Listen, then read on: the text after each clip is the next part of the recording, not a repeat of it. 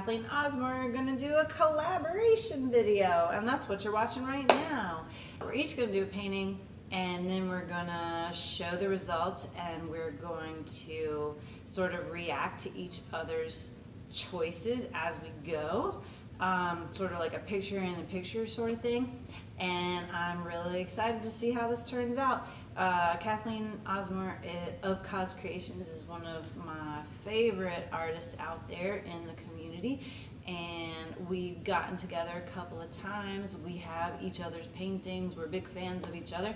And it's fun to finally work together on something. We'll go with a color scheme, since you're letting me choose, of um, my go-to favorites, ultramarine blue, iridescent gold, and um, then that'll probably be my background and then I'll swipe with more gold and blue and maybe a little bit of indigo and some burnt sienna and some iridescent pearl all in the golden fluid line because they're the best.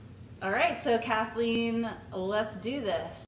All right, hey Cathleen, good morning. How are you? Good. I'm so excited. This is going to be awesome. Um, I am too, honey. I have had a really good time watching you paint, but I think it'll be fun for us to talk about it at the same time while we watch it together. Sounds great, sweetie. A little nervous, Teach. A little nervous. No, this will be fun. Um, so first of all, I'm watching you coat your edges here, and I have tried that technique, and it has been really helpful because I'm always fighting it, going not wanting to go off the edge. So I really appreciate you showing that. Um, and your little dance at the beginning was super awesome. I love your energy. You're always having so much fun. I can tell you love to paint. It's my happy place, darling. I love you. Yeah. All right. So this is me painting. Um, so I guess I started with the ultramarine and you did the indigo to start. There's a little difference there. Yep. Yep. But we were close. I got the gold going on the bottom half, just like Mhm. you do. Great Mhm. minds think alike. Yeah. And I, I tilted my canvas here like you talked about doing to help the extra run off instead of puddle. That's been super helpful as well. Yeah. Yeah, it also creates some really cool effects sometimes. when Two paints run together, so it's fun. There we go. Oh, there you are again. I know. I had I so much fun. I was listening. I was listening to the best music in the background. That's why you see those feet are moving every once in a while. I think that our videos would be so much more popular if we could share the music we listen to. But that darn copyright, right? We'll have Yeah, to I know. Look at that massive gallon of golden gold. Oh my God, I am so jealous of you. I commit to mixing up some paint and I it it lasts. The only problem I have with mixing up such large quantities, and I will tell everybody, is that um, I do get sometimes little dried bits in there that I have to pick out because it'll like dry around the the cap, you know, and then when I pour it, that can fall in. But otherwise, it stays good forever. That's fantastic. I get the the little stick things on, on my Floetrol GAC 800. I always have Mm-hmm. you know, but I buy the handy strainer from Lowe's, those strainers, and I strain everything before. I, I've been straining my. I've been straining my Floetrol, but not my GAC 800. Do you also strain your GAC 800? I do. When I mix them together, I throw uh, my my container is marked to where my Floetrol line is, and then um, my next line that I mark with tape is my GAC, and my strainer's already in there, so I just pour the GAC in there as well. Use because the strainers you can only use once, but like a package of four or five is like ninety cents at Lowe's. So I can't wait to see what you've done here. I'm so excited. I like that you've Those broken up the colors were amazing. Yeah. I like that I, I you know I use them a lot. But yeah. I really like you've broken up the line here on and and you're you're playing around with a different approach to the the background color. Yeah, well, it was kind of a, a mistake. I was going to put the blue on the whole and as I was doing that, I'm like, no, let's get some gold going on down here. So, um, or I initially would not have done the sides the whole way, but it worked out. It was fun. It took me forever. I mean, it just um, took me forever to cover that canvas out here. What size is that? It looks really big. You know what? Um, you had asked me to paint on a certain size, but I didn't have the canvas. I think it's a 20 by 20, Courtney. Okay. Which is my favorite size to paint. I do. I, it's funny. I really like painting on square as well. Either the the really elongated ones or square, but not yeah. the yeah, not the standard proportion for some reason. Yeah. I There's, love painting. Oh, here, you know, your paints look a little bit more fluid than mine. You put a little bit more GAC 800. What's your ratio on that? Um, three, three parts GAC, two parts Floetrol, and one part paint. Okay. okay. I'm about um, I'm like 75% Floetrol to 25% GAC 800. I tried upping my GAC a little bit, but when I started using the golden paints, which are so fluid, the GAC 800 is more fluid than the Floetrol, and um, it made my paint more fluid than what I. You're twiddling your thumbs there. You're, You're like, what should I do?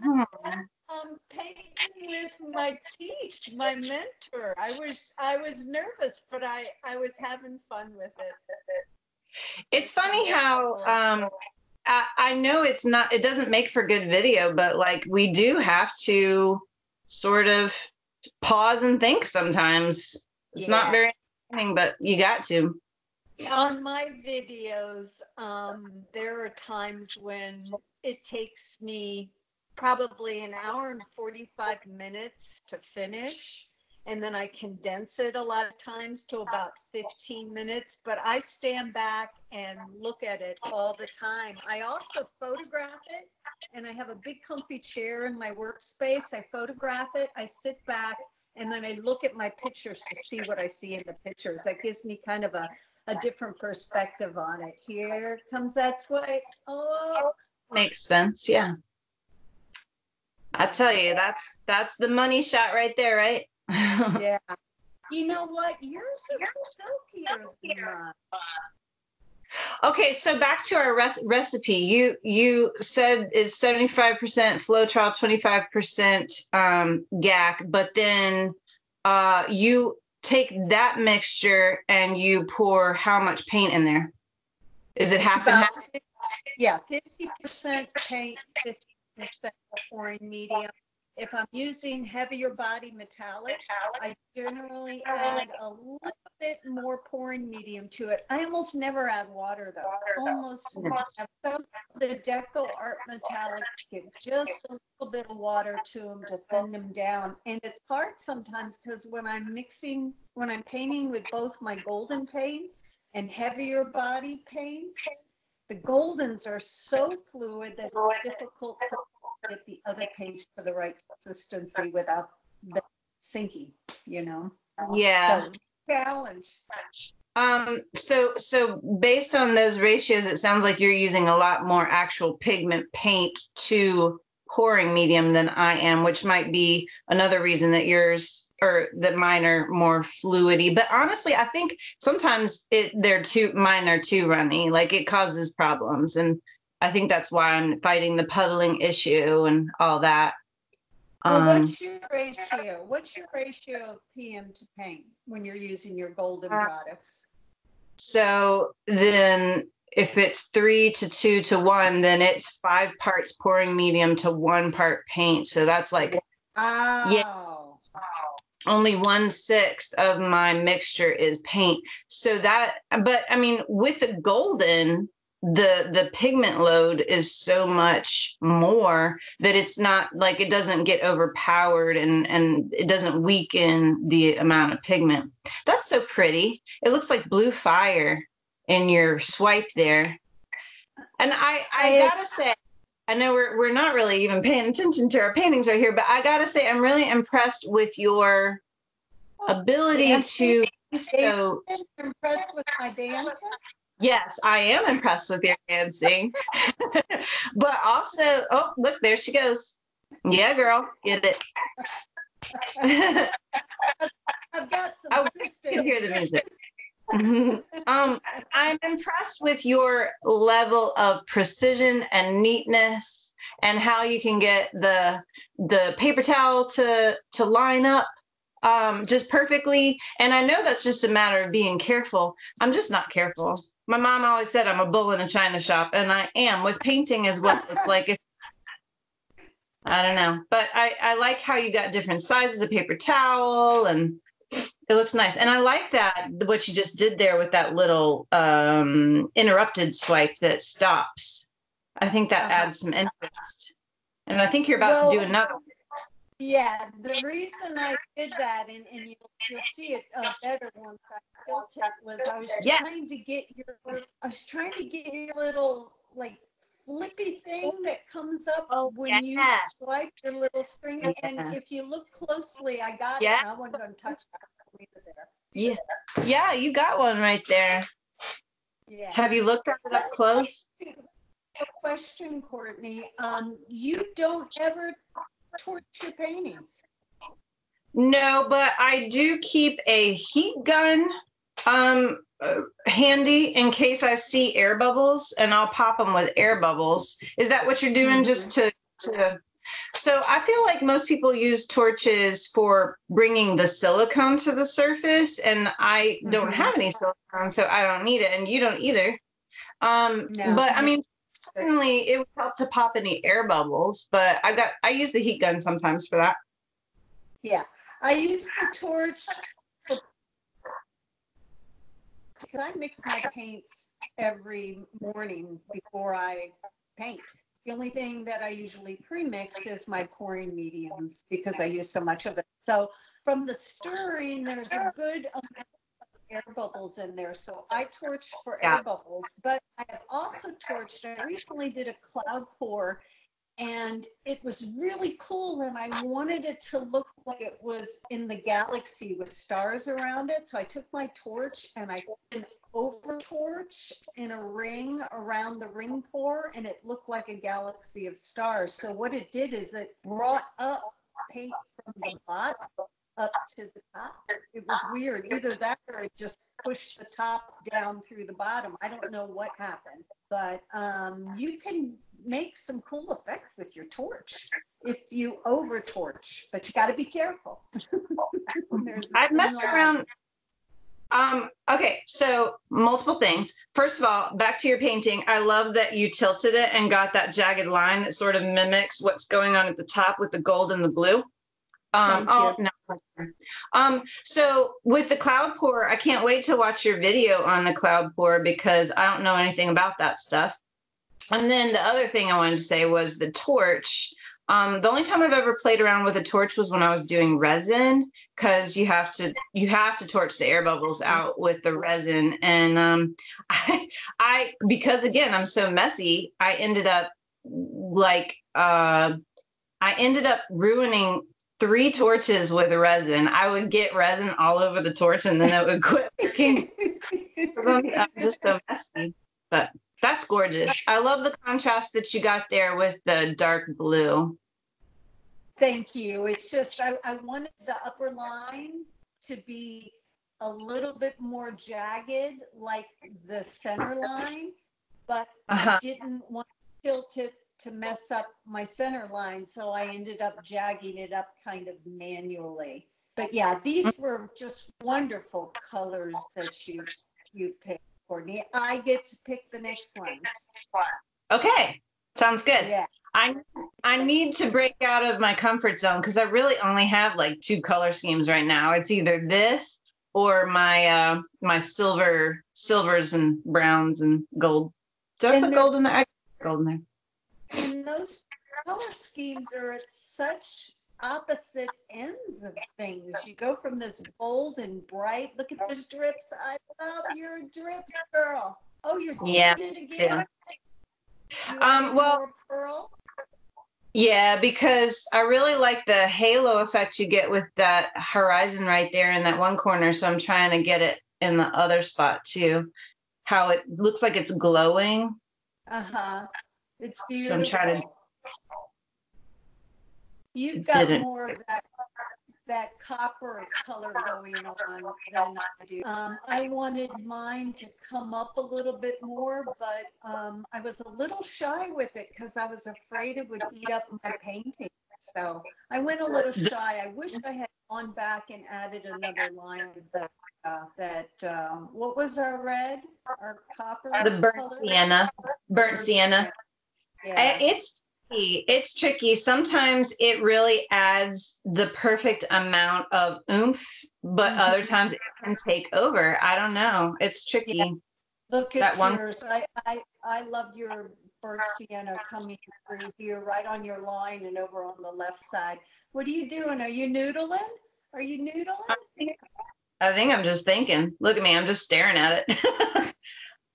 uh, it might be done. I don't know. I added the extra white line and didn't really swipe it. And what? I think that I think I might be done. Am I done? You, Oh, I'm. T- now you're um, so- thinking, hmm. I might just be tilting to see if there's puddling. I think I'm done. Pretty, mm-hmm. it's beautiful. Were you pleased? Yeah, I'm happy with this. Yeah. Yeah, I am. I like this is sort of upside down of the orientation. We'll look at it again in a bit. I really like your little blue tendrils that you pulled down with the um with the popsicle sticks. That's fun. Well, I was trying to mimic what was on there at the bottom of the canvas. Yeah, here's, you can see, I wish more of that copper had come through like it did on yours. It's hard to predict. Um, I did another painting that's more like just without the gold, what you have down here at the bottom, where it's just the pearl and the blue and the brown, and it it Mhm. almost it. I don't know. It it almost needs the gold to counteract the brown. Otherwise, it looks too red, doesn't it? Yeah, gold is one of my challenging colors. A lot of people are really into that extreme 24 karat gold that's out there by Deco Art. And Uh-huh.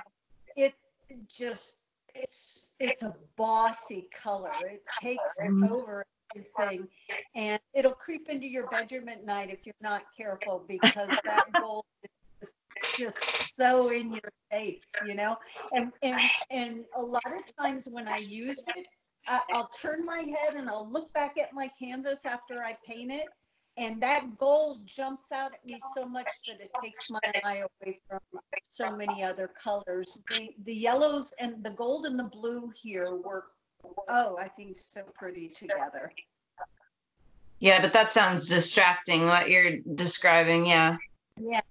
Yellow's a bold color. It it it it jumps Mhm. out. If you look across a landscape, the yellow in that landscape is going to catch your eye before any Mhm. other color, other than white. I think white is probably the brightest of all colors out there, and one of my favorites. Yours too. That iridescent pearl. It's like it's Mm. very hard to do a painting without it.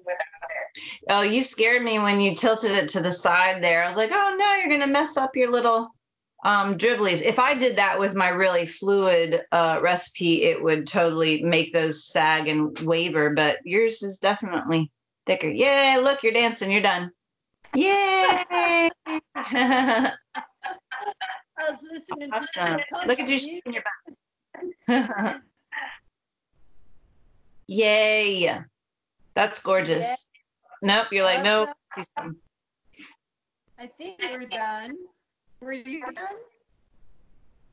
Yeah, I've got some dried shots uh, coming up, and and I think I've got some finished shots of yours too before it was dried coming up. We can look at the That you? Oh my God, you got your sister and you too, honey. Uh, I got. I found That's one footage of me dancing. It's short, but I wiggled my butt for a second. All right, so this is mine. Some close-ups. Look at that cup. Oh my God, does that play well in there, Courtney? right there where it's on top of the the pearl. I love that spot right there. Yeah, it's beautiful. And And- I love your drips. I just love your drips. Yeah, me too. Um, sometimes they look like little flowers. I've got a painting coming up where it was like an explosion of drips, and I actually did sort of make them into part of the landscape. I can't wait to show that. All right, so there's a side shot. Just get um I like the contrast of the dark blue with the white along the the middle there. It looks so silky, so smooth. Beautiful, honey. Thank you. That was so much. I had a blast. Yeah, me too. We'll definitely have to do this again. And I think that the viewers will enjoy hearing our conversation about what works for us and what we're what we're learning from each other and and we don't have to like steal ideas from each other. We are learning from each other and it's great, right? Hundred Like, you percent. That's really important. Important, and I am grateful for that. And there's some shots of your finished piece. I love that soft jagged line in the middle. It gives your eye a place to rest. It's so Mhm. pretty. It's fun. They're they're similar, but they're so different. Yeah, yeah, yeah. Beautiful. And I tell you, most of the time, if I try to recreate the same painting the exact same way, it's gonna be so different too, right? Like you, that's what's great about this this whole medium is it's unpredictable. You can sort of swing it in a direction, but it also does what it wants. I know, and that's part of what makes it fun. I agree. Teach, I'm so glad you invited me to do this, honey. Thank you so much. Thank you for participating. All right. Anytime, girl. I pick the colors next time, though. Deal? Sounds All good. You got you got anything in mind? Let me think on it. I'll noodle. I'll noodle over it and let you know. All right, sounds good. All right. Okay, Happy talk to you later. girl. All right. Bye. Bye.